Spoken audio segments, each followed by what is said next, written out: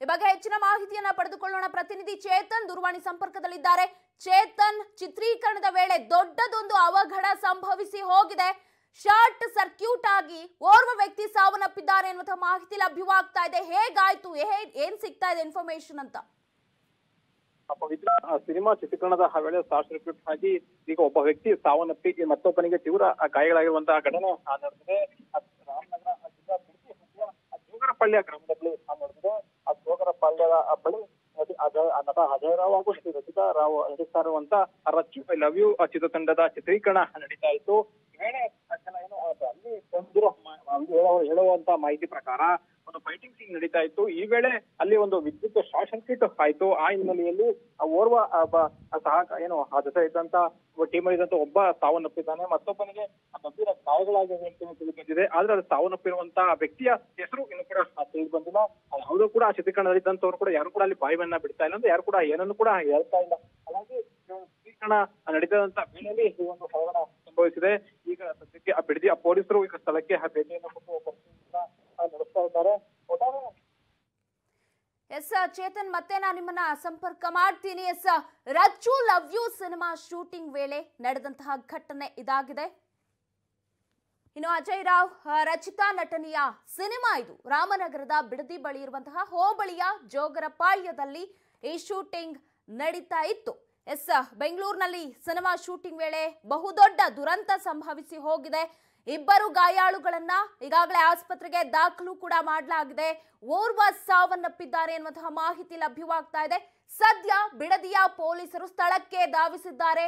ಏನಾಗಿದೆ? ಕೂಲಂಕುಷವಾಗಿ ತನಿಖೆಯನ್ನ ನಡೆಸ್ತಾ ಇದ್ದಾರೆ. ಲವ್ ಯು ರಚ್ಚು ಶೂಟಿಂಗ್ ವೇಳೆ ನಡೆದಂತಹ ದುರಂತ ಶೂಟಿಂಗ್ ವೇಳೆ ಫೈಟರ್ ದುರ್ಮರಣವಾಗಿದೆ. ನಿಜಕ್ಕೂ ಕೂಡ ಇದು ದೊಡ್ಡ ಅವಘಡ. ಹೈ ಟೆನ್ಷನ್, ವೈರ್ ತಗುಲಿ ಫೈಟರ್ ಸಾವನ್ನಪ್ಪಿದ್ದಾನೆ ಎನ್ನುವಂತಹ ಮಾಹಿತಿ ಸದ್ಯಕ್ಕೆ ಲಭ್ಯವಾಗ್ತಾ ಇದೆ.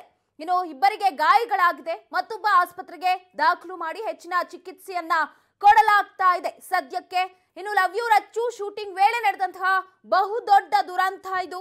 ಇನ್ನು ಗುರುದೇಶ್ ಪಾಂಡೆ ನಿರ್ಮಾಣದಲ್ಲಿ ಬರ್ತಾ ಇದ್ದಂತಹ love you Rachchu cinema Ajay Rao ಹಾಗೆ ರಚಿತರಾಮ್ ಇದರಲ್ಲಿ ನಟಿಸ್ತಾ ಇದ್ರು. ಆ ಒಂದು ಸಂದರ್ಭದಲ್ಲಿ ಈಗ ಶೂಟಿಂಗ್ ಮಾಡ್ತಾ ಇದ್ದಂತಹ ಸಂದರ್ಭದಲ್ಲಿ ಆದಂತಹ ಅವಘಡ. ಎಸ್ ಬೆಂಗಳೂರಿನಲ್ಲಿ ಸಿನಿಮಾ ಶೂಟಿಂಗ್ ವೇಳೆ ನಡೆದಂತಹ ದುರ್ಮರಣ, ವಿವೇಕ್ ಮೂವತ್ತೈದು ವರ್ಷ ವಯಸ್ಸಾಗಿದ್ದಂತಹ ಫೈಟರ್ ಸಾವನ್ನಪ್ಪಿದ್ದಾರೆ ಎನ್ನುವಂತಹ ಮಾಹಿತಿ ಲಭ್ಯವಾಗಿದೆ. ಮತ್ತೆ ನಮ್ಮ ಸಂಪರ್ಕದಲ್ಲಿದ್ದಾರೆ ಪ್ರತಿನಿಧಿ ಚೇತನ್. ಎಸ್, ಚೇತನ್ ಹೇಳ್ತಾ ಇದ್ರಿ, ಚಿತ್ರೀಕರಣದ ವೇಳೆ ವ್ಯಕ್ತಿ ಸಾವನ್ನಪ್ಪಿದ್ದಕ್ಕೆ ಸಂಬಂಧಪಟ್ಟಂತೆ ಜೊತೆಗೆ ಇಬ್ಬರಿಗೆ ಗಾಯಗಳಾಗಿದೆ, ಆಸ್ಪತ್ರೆಗೆ ದಾಖಲು ಮಾಡಲಾಗಿದೆ ಎನ್ನುವಂತಹ ಮಾಹಿತಿ ಕೂಡ ಲಭ್ಯವಾಗ್ತಾ ಇದೆ. ಹೇಗಿದೆ ಪರಿಸ್ಥಿತಿ? ಶೂಟಿಂಗ್ ಏನ್ ನಡೀತಾ ಇತ್ತು. ಅದೇ ಆ ವಿದ್ಯುತ್ ಒಂದು ಅವಘಡ ಸಂಭವಿಸಿದೆ ಅಂತೇಳಿ ನಮ್ಮ ಬೆಂಗಳೂಟಕ್ಕೆ ತಿಳಿದು ಬರ್ತಾ ಇದೆ. ಆ, ಈ ವೇಳೆ ಆ ಒಂದು ಇಬ್ಬರು ಸಹ ಕಲಾವಿದರಿಗಾಗಿ ಗಾಯಗಳನ್ನ ಹಾಕಿದ್ರು ಅಂತೇಳಿ ತಿಳಿ ಬರ್ತದೆ. ಒಬ್ಬರಿಗೆ ಸಾವನ್ನಪ್ಪಿದ್ದಾರೆ ಇನ್ನೊಬ್ಬರ ಬೆಂಗಳೂರಿನ ಖಾಸಗಿ ಆಸ್ಪತ್ರೆಯಲ್ಲಿ ಆ ಚಿಕಿತ್ಸೆಗಾಗಿ ದಾಖಲನ್ನ ಮಾಡಲಾಗಿದೆ ಅಂತ ಹೇಳಿ ತಿಳಿ ಬರ್ತಾ ಇದೆ. ಆದ್ರೆ ಅಲ್ಲಿರ್ತಕ್ಕಂಥ ಯಾರು ಕೂಡ ಏನನ್ನು ಕೂಡ ಹೇಳಕ್ಕೆ ಇಷ್ಟಪಡ್ತಾ ಇಲ್ಲ. ಅಂದ್ರೆ ಏನ್ ಘಟನೆ ಯಾವ ಯಾವ ರೀತಿ ಆಯ್ತು, ಏನ್ ನಡೀತು ಅನ್ನೋದನ್ನ ಕೂಡ ಯಾರು ಕೂಡ ಹೇಳ್ತಾ ಇಲ್ಲ. ಕೂಡ ಆ ಗುಪ್ತ ಗುಪ್ತಾಗೆ ಕೂಡ ಮಾಡ್ತಾ ಇದ್ದಾರೆ. ಹಾಗಾಗಿ ಆ ಘಟನೆ ಹೇಗೆ ಅಂತ ಮತ್ತೆ ಅಲ್ಲಿ ಯಾರ ಯಾಕೆ ಅನ್ನೋದು ಕೂಡ ತಿಳಿದು ಬರ್ತಾ ಇಲ್ಲ. ಹಾಗಾಗಿ ಎಲ್ಲವೂ ಕೂಡ ಗೌಪ್ಯವಾಗಿ ಅಲ್ಲಿರ್ತಕ್ಕಂಥ ಎಲ್ಲ ಒಬ್ಬ ಎಲ್ಲ ಚಿತ್ರೀಕರಣದ ಇದ್ದಂತವರೆಲ್ಲ ಕೂಡ ಯಾರು ಕೂಡ ಕೂಡ ಹೇಳ್ತಾ ಇಲ್ಲ. ಹಾಗಾಗಿ ಬಿಡದಿ ಆ ಪೊಲೀಸರು ಈಗ ಸ್ಥಳಕ್ಕೆ ಬಂದಿದ್ದಾರೆ. ಅವರು ಆ ಪರಿಶೀಲನೆಯನ್ನು ನಡೆಸ್ತಾ ಇದ್ದಾರೆ. ತದನಂತರ ಅಲ್ಲಿ ಯಾರು ಏನೋ ಹೇಳ್ತಾರೆ, ಯಾವ ರೀತಿ ಆಯ್ತು ಅನ್ನೋದರ ಬಗ್ಗೆ ಕೂಡ ಅವರು ಹೇಳ್ತಾರೆ ಓಕೆ ಥ್ಯಾಂಕ್ ಯು ಚೇತನ್ ಇನ್ಫಾರ್ಮೇಶನ್ಗಾಗಿ ದೊಡ್ಡ ಅವಘಡ ಅಂತಲೇ ಹೇಳಬಹುದು. ಶೂಟಿಂಗ್ ಅಂತ ಹೇಳಿದಾಗ ಒಂದಷ್ಟು ಪ್ರಿಕಾಕ್ಷನ್ ಅನ್ನ ತೆಗೆದುಕೊಳ್ಬೇಕಾಗತ್ತೆ. ಯಾಕಂತ ಹೇಳಿದ್ರೆ ಶೂಟಿಂಗ್ ವೇಳೆ ದೊಡ್ಡ ದೊಡ್ಡ ಒಂದು ಫೈಟಿಂಗ್ ಸೀನ್ಗಳನ್ನ ಮಾಡ್ತಾ ಇರ್ತಾರೆ. ಈ ರೀತಿ ಯಾರಿಗಾದ್ರೂ ಹೆಚ್ಚು ಕಮ್ಮಿ ಆಗಬಹುದು ಅಂತ ಮುಂಜಾಗ್ರತಾ ಕ್ರಮಗಳನ್ನ ವಹಿಸೋದು ಹೆಚ್ಚಾಗಿರುತ್ತೆ. ಆದ್ರೂ ಕೂಡ ಇಲ್ಲಿ ದೊಡ್ಡ ಅವಘಡ ಒಂದು ಈಗಾಗಲೇ ಸಂಭವಿಸಿ ಹೋಗಿದೆ. ಓರ್ವ ವ್ಯಕ್ತಿ ಸಾವನ್ನಪ್ಪಿದ್ರೆ ಇಬ್ಬರು ಗಾಯಾಳುಗಳನ್ನ ಆಸ್ಪತ್ರೆಗೆ ದಾಖಲು ಮಾಡಲಾಗಿದೆ. ಮತ್ತೋರ್ವ ವ್ಯಕ್ತಿಯ ಸ್ಥಿತಿ ಚಿಂತಾಜನಕ ಅಂತ ಕೂಡ ಹೇಳಲಾಗ್ತಾ ಇದೆ. ಹಾಗಾಗಿ ಇದೀಗ ಏನು ಗುರುದೇಶ್ ಪಾಂಡೆ ನಿರ್ಮಾಣ ಹೊತ್ತಿದಂತಹ ಸಿನಿಮಾ ಇದು. ಈಗಾಗಲೇ ಸ್ಥಳಕ್ಕೆ ಬಿಡದಿಯ ಪೊಲೀಸರು ಕೂಡ ದೌಡಾಯಿಸಿದ್ದಾರೆ.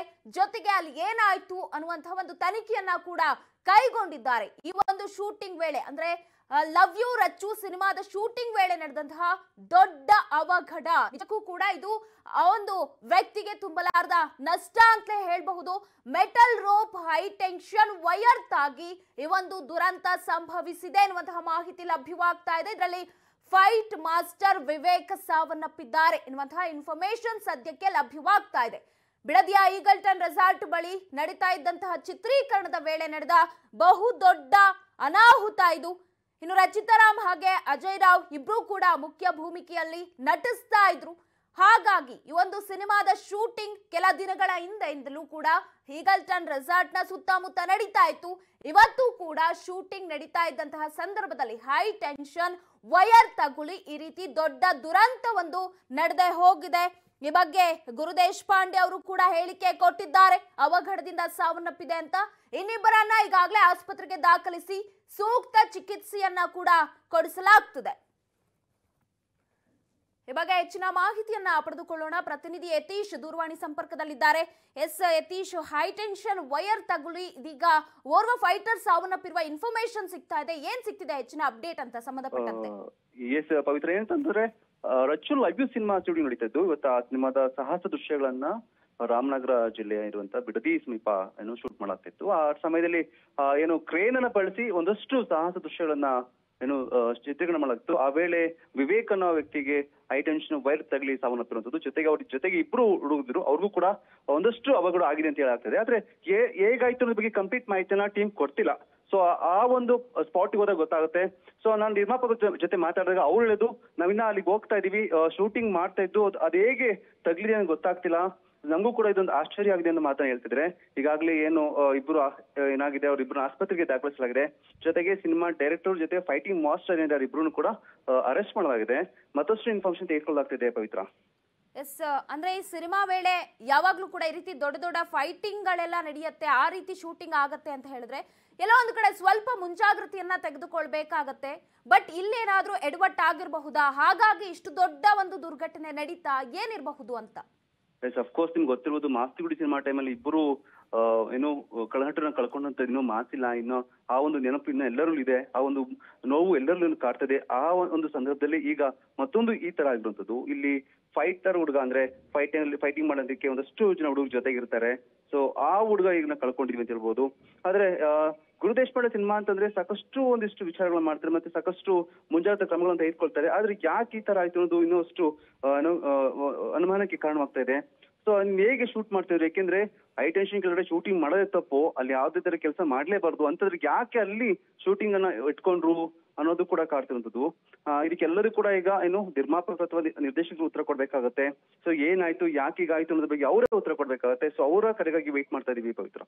ಓಕೆ ಅಂದ್ರೆ ನೆಕ್ಸ್ಟ್ ಈಗ ಏನು ಅಂತ, ಈಗ ಇಬ್ಬರಿಗೆ ಗಾಯಗಳಾಗಿದೆ, ಅವರನ್ನ ಕೂಡ ಆಸ್ಪತ್ರೆಗೆ ದಾಖಲು ಮಾಡಿದ್ದಾರೆ ಅಂತ ಹೇಳ್ತಿದ್ದಾರೆ. ಜೊತೆಗೆ ಬಿಡಿಯ ಬಿಡದಿಯ ಪೊಲೀಸರು ಈಗಾಗಲೇ ಅಲ್ಲಿ ಒಂದು ತನಿಖೆಯನ್ನ ಕೂಡ ಮಾಡ್ತಾ ಇದ್ದಾರೆ. ಮುಂದೆ ಏನಾಗಬಹುದು? ಅಂದ್ರೆ ಶೂಟಿಂಗ್ಗೆ ಅವಕಾಶ ಕೊಡ್ತಾರಾ ಅಥವಾ ಏನಾಗಿದೆ ಅನ್ನೋ ಎಕ್ಸ್ಪ್ಲನೇಷನ್ ಅನ್ನ ಕೊಡ್ತಾರಾ ಅಂತ? ಅಲ್ಲ, ಏಕೆಂತಂದ್ರೆ ಈಗ ಈಗ ಅರೆಸ್ಟ್ ಆಗಿದ್ದಾರೆ ಇಬ್ರು ಅರೆಸ್ಟ್ ವಿಚಾರಣೆ ನಡೆಸಲಾಗ್ತದೆ. ವಿಚಾರಣೆ ಆದ ನಂತರ ಚಿತ್ರೀಕರಣದ ಬಗ್ಗೆ ಭಾಗವಹಿಸಬೇಕಾಗುತ್ತೆ. ಇನ್ನ ಏನು ಇಬ್ಬರಿಗೆ ಆಸ್ಪತ್ರೆ ಸೇರಿದ್ರೆ ಅವರ ಚಿಕಿತ್ಸೆ ವೆಚ್- ವೆಚ್ಚವನ್ನ ಈಗ ನಿರ್ದೇಶಕ ಅಂದ್ರೆ ನಿರ್ಮಾಪಕ ನೋಡ್ಕೊಳ್ತೀವಿ ಅಂತ ಹೇಳಿದ್ದಾರೆ. ಸೊ ಅದೇ ಏನಂತದ್ದು ಈ ಮುಂದಿನ ಕ್ರಮಗಳ ಬಗ್ಗೆ ಅವರ ನಿರ್ದೇಶಕ ಅಥವಾ ನಿರ್ಮಾಪಕ ಹೇಳ್ಬೇಕಾಗತ್ತೆ. ಸದ್ಯದ ಮಟ್ಟಿಗೆ ಚಿತ್ರೀಕರಣವನ್ನು ನಿಲ್ಲಿಸಲಾಗಿದೆ. ಅದಾದ ನಂತರ ಇನ್ನೊಂದು ಸ್ವಲ್ಪ ದಿನ ಬಿಟ್ಟು ಕೂಡ ಮಾಡ್ಬೇಕಾಗುತ್ತೆ, Pavitra. Okay thank you Yatish ಇನ್ಫಾರ್ಮೇಶನ್ಗಾಗಿ yes, ಚಿತ್ರೀಕರಣದ ವೇಳೆ ವ್ಯಕ್ತಿ ಸಾವನ್ನಪ್ಪಿದ್ದಾನೆ ಶಾರ್ಟ್ ಸರ್ಕ್ಯೂಟ್ನಿಂದ ಈಗಾಗಲೇ ಇಬ್ಬರಿಗೆ ಗಾಯಗಳಾಗದೆ ಅವರನ್ನ ಆಸ್ಪತ್ರೆಗೆ ದಾಖಲು ಮಾಡಲಾಗಿದೆ. ಬಿಡದಿಯ ಈಗಲ್ಟನ್ ರೆಸಾರ್ಟ್ನಲ್ಲಿ ನಡೆದಂತಹ ದೊಡ್ಡ ಅವಘಡ ಇದು.